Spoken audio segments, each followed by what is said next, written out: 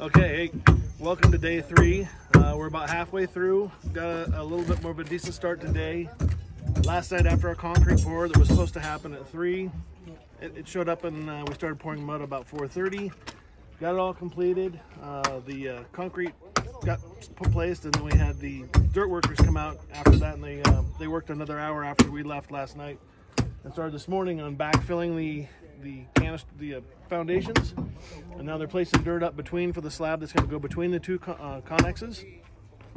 Um, early this morning, the local help came in um, about an hour before us, and they did an incredible job this morning, stripping everything off of the other foundations. They decleated all the nails, got all the pieces stacked up in appropriate lengths for stuff, so we're using it peeled all the walls off and we've taken them and carried them around and uh, placed them all in here this morning. We're, we're actually a lot farther ahead today than we thought we'd be. Made good progress. Um, the guys are really kicking it, doing a great job. Um, so you can see that we've got both forms placed right now. We're working on uh, bracing them right now for the last part. We've got the level set and the snap line inside ready for the pour. The pour we're doing tomorrow it's a different pour, so if you can look here and see, we've got uh, several pallets of uh, cement here.